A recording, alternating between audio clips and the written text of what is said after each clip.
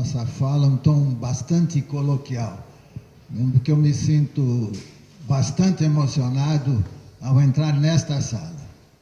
Esta sala, lá pelos idos de 70, foi palco da leitura dramática de um espetáculo teatral chamado O Evangelho segundo Zebedeu, que contava a história de Antônio Conselheiro, que conta a história de, de Antônio Conselheiro. E estas janelas que vocês estão vendo, um pouco modificadas, receberam duas ou três rajadas de metralhadoras, pedradas e gritos de ameaça.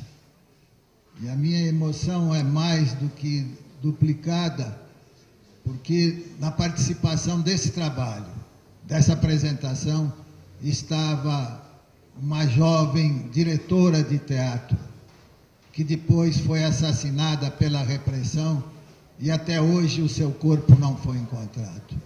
Eu pediria a vocês todos, de pé, uma salva de palmas por Eleni Guariba e por todos que morreram lutando pela liberdade.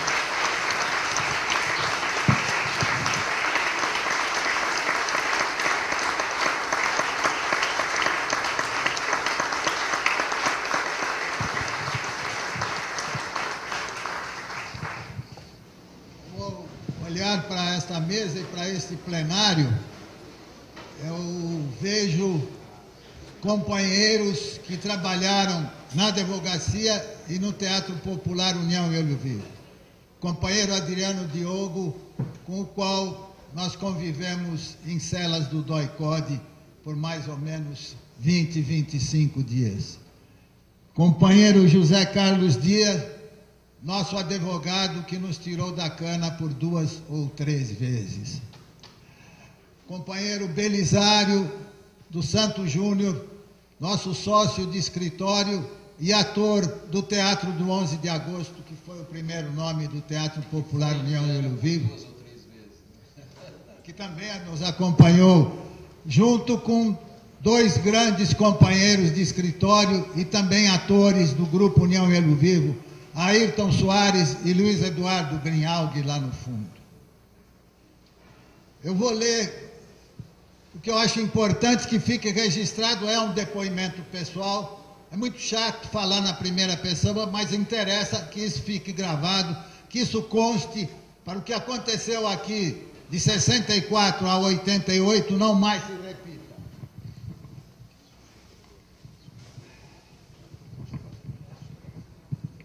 Eu pergunto às vezes a mim mesmo, por que, que a gente enveredou pela carreira de advogado, de advogado de auditoria de guerra, de advogado de perseguidos e presos políticos?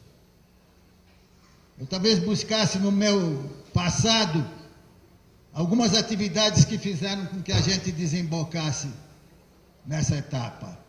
Eu fui presidente do Centro Acadêmico do Centro Estudantil do Colégio Bandeirantes, fui presidente do Centro Acadêmico 22 de Agosto, do Centro Acadêmico Casper Libero e da União Nacional dos Estudantes.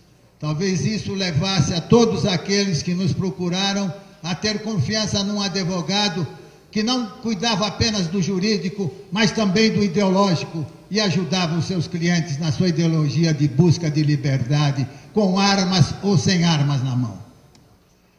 No nosso escritório perpassaram Ayrton Soares, Belisário dos Santos Júnior, Luiz Eduardo Grinaldi, Paulo Gerabi, Miguel White, já falecido, exemplo de tenacidade e idealismo no direito brasileiro.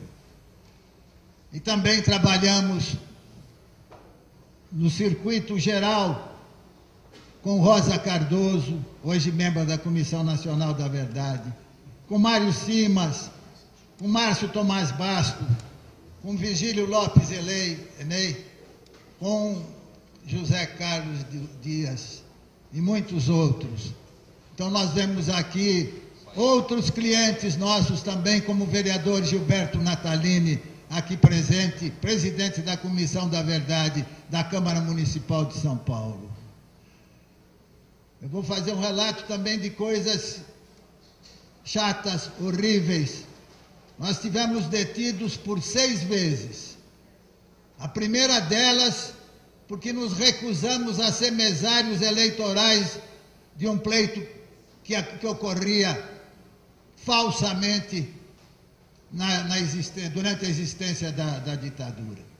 Estivemos presos em conjunto com Ayrton Soares, Iberê Bandeira de Melo, Antônio Mercado, Belisário dos Santos Júnior e muitos, muitos outros advogados que eram levados na porrada para a Rua Tutóia, aqui em São Paulo.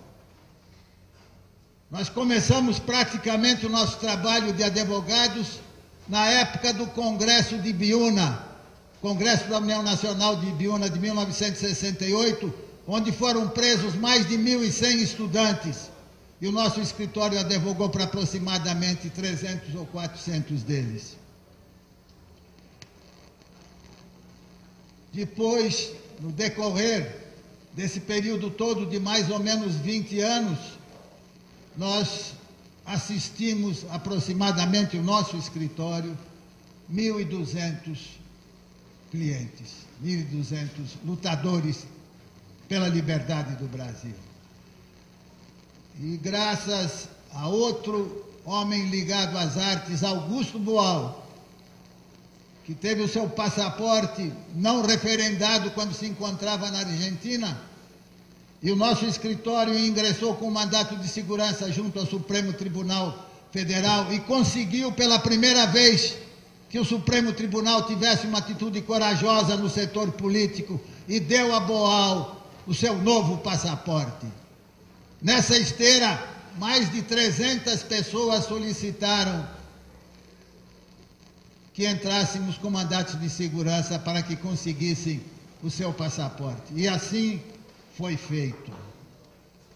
Depois falo da prisão com Ayrton, com Luiz Eduardo, com Belisário, quando fomos levados debaixo de metralhadoras dos nossos escritórios até o Doicode, onde fomos ouvidos naquela data por umas 10 ou 15 horas. E logo em seguida fomos detidos pelos órgãos de repressão quando o nosso grupo de teatro realizava um espetáculo na Vila Santa Catarina, nos num bairro popular da Grande São Paulo.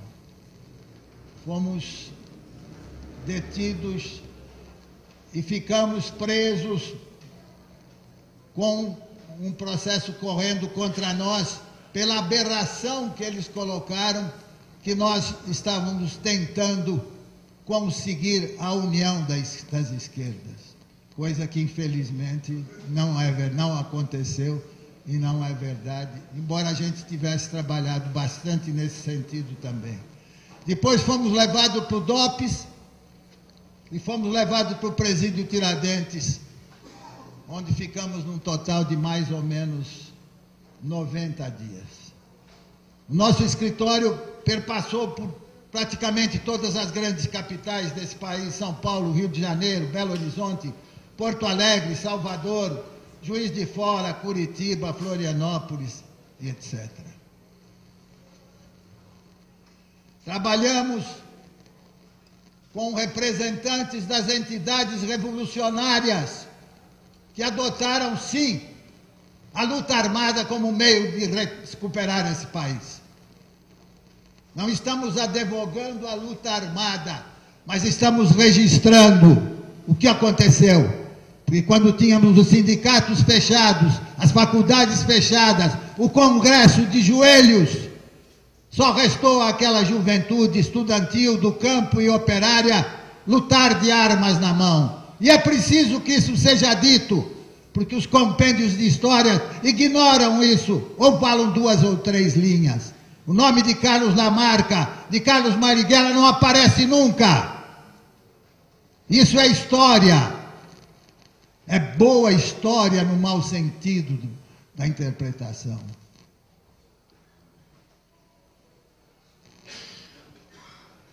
No decorrer desse trabalho, quando estávamos advogando para um grupo de sindicalistas do ABC, em conversa com o juiz Nelson para ver quem iria assistir, quais as pessoas que poderiam assistir aquele julgamento, porque só cabiam 30 pessoas. Esse juiz, no decorrer do papo, nos disse: após a condenação, eu vou. Daí os advogados que estavam lá, Ayrton, Iberê, Luiz Eduardo, Belisário, eu e mais uns dois ou três, falamos: porra! Se o cara está falando que, bem, bem linguagem simples, se o cara está falando que após a condenação, o que, é que nós vamos fazer nesse julgamento? Palhaços, fantoches, e não comparecemos. E eles foram julgados. Luiz Inácio Lula da Silva, José Cicote e outros, Djalma Bom e muitos outros. E nós conseguimos que a nossa tese, depois de algum tempo, fosse vitoriosa no Supremo Tribunal, no Superior Tribunal Militar, como de fato ocorreu.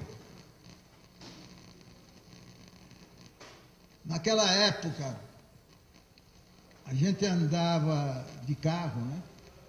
Para lá e para cá, e e levava no porta-mala uma máquina de escrever letra 22, que existe por aí, embora não seja usada mais, e papel timbrado do escritório. Para quando a gente recebia alguma comunicação de alguma prisão ou de algum desaparecimento, a gente não existia o habeas corpus. Estava proibido. A gente encaminhava ao oficial de, de dia do DOI-CODE, lá na rua Tutóia, um pedido de informações sobre aquela pessoa. Encaminhava, da mesma forma, um pedido de informações, o nome do nosso habeas corpus, encaminhava aos juízes, doutor Paiva e doutor Nelson, da auditoria, um pedido de informações. Isso não funcionava como um habeas corpus, mas fazia com que os órgãos de repressão ficassem sabendo que aqui fora já sabia do desaparecimento daquelas pessoas. E isso evitou muitas mortes e algumas torturas. Durante o nosso interrogatório no DOI-CODE, nos foi muito perguntado sobre os 30 mil homens em armas por um regime igualitário que andariam pelo Rio Grande defendendo as suas ideias. Isso é uma verdadeira loucura, porque o que aconteceu foi o seguinte: quando, no método que nos foi ensinado por Plínio Marcos, estávamos escrevendo alguma peça, nós tínhamos por hábito colocar na parede alguns dados presos com percevejos. E nesse caso, que era uma peça sobre a guerra dos índios guaranis, sobre o seu cacique Sepete Araju, nós colocamos percevejos escrito 30 mil homens aqui, 500 índios ali, etc. E o oficial torturador queria saber onde estavam, porra, esses 30 mil homens, esses 30 mil índios. E nós, muito delicadamente, respondemos: se tivéssemos 30 mil homens, nós não estaríamos aqui. Durante a ditadura foram proibidos 732 textos teatrais nesse país. Quanta verdade, quanta poesia, quanto lirismo foi esmagado e jogado na lata do lixo. 732 peças proibidas. Nós mesmos tivemos 14 delas totalmente proibidas.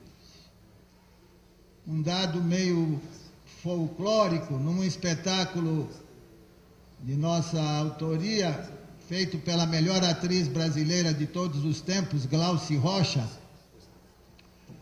Ela falava que em determinado momento algumas pessoas tinham dado os seus testículos em prol da sua causa. E o censor, então, olhando aquilo, quando ele falava, corte a cena aqui, corte a fala aqui, a fala ali, ele falou: cortem-se os testículos. era a, o que eles podiam falar e o que eles podiam depender de uma obra de arte.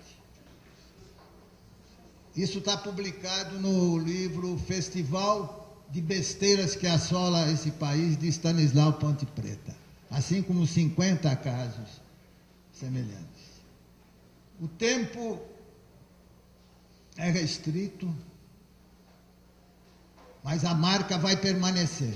A presença de vocês nessa sala que foi metralhada, em que uma moça assassinada cujo corpo não foi encontrado até hoje estava presente, deve ser difundida por vocês. O que foi dito já pelos nossos companheiros, que vai ser dito ainda aqui hoje. Para que passem as novas juventudes. Pessoal de 18, 17, 20 anos não sabe porra nenhuma do que aconteceu. Parece que nós estamos ah, com vergonha de ter lutado pela liberdade. Fica escondido, sai uma linha na, na página de qualquer compêndio de história. Afora, um grande professor de história desta casa, de, de direito desta casa e também de história na USP, Leonel Itaúsu de Almeida, sempre nos passou essa lição. De bom, ajude a difundir o que aconteceu, o que realmente aconteceu. Senão ficam usando a palavra terroristas. Porra. Não houve terrorismo, porra. Houve luta, houve busca, houve entrega, houve vidas ceifadas.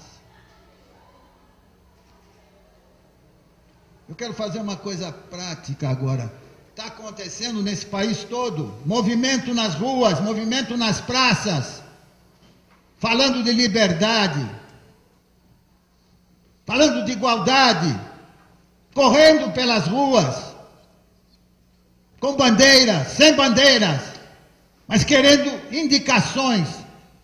Esse povo da rua encontrando o seu caminho. E nós temos que colaborar, não dizer façam isso, mas discutir com eles o que deve ser feito e como deve ser feito. E que todos esses segmentos, esses manifestantes, têm o direito de opinar, sim, e falar: chega de corrupção, chega de autoritarismo, chega de apologia ao assassinato. As propostas da rua, elas buscam algumas coisas. Nós vamos indicar uma pequenina coisa, minúscula, que se todos colocarem pequeninas coisas e minúsculas, vai se conseguir um grande edifício. O sistema eleitoral brasileiro em vigor, em vigor há mais de 30 anos, é um sistema proporcional, cheio de falhas, que permite que os representantes do povo se elejam devido à grana, devido ao financiamento de multinacionais. Uma das propostas pequena é que haja uma mudança na legislação eleitoral, sim, que se busque, se comprove e se teste um sistema diferente desse que está aí, um sistema misto, distrital e proporcional. Seria apenas um pequeno caso. Na entrada dessa casa, vocês se depararam com uma estátua um soldado ferido. E embaixo a seguinte frase: Quando se sente no peito bater, heróica pancada, deixa-se a folha dobrada enquanto se vai morrer. Nós mudamos. E hoje e amanhã, esse adágio deveria ser lido assim quando se sente no peito pulsar a heróica pancada, deixa-se a folha dobrada. Finalizo com Castro Alves, jovem, rebelde, poeta, que perpassou também por estas salas.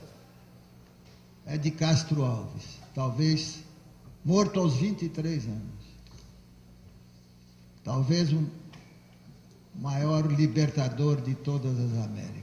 Ao lado de Bolívar, de São Martim, era Castro Alves que falava, era poesia que falava, era rebeldia que brotava. E ele diz o seguinte, numa das suas poesias, Navio Negreiro, a, com toda a ligação com hoje, com o que acontece hoje. Quando nas praças se eleva do povo a sublime voz, a praça, a praça é do povo, como o céu é do condor. É ante, é antro, onde a liberdade cria águias em seu calor. Senhor, pois quereis a praça, a populaça só tem a rua de seu. Ninguém vos rouba os castelos, tendo tendes palácios tão belos. Deixai a praça ao anteu. Mas embalde que o direito não é pasto de punhal, nem a patas de cavalo se faz um crime legal. Ah, não há muitos setembros, da plebe dói-lhe já os membros ante o açoite do poder. E o momento é malfadado quando o povo ensanguentado diz: Não, já não posso mais sofrer. Lançai o protesto, ó povo, lançai o protesto, nós todos, nós todos. Protesto que o mundo novo manda aos tronos e às nações. Obrigado.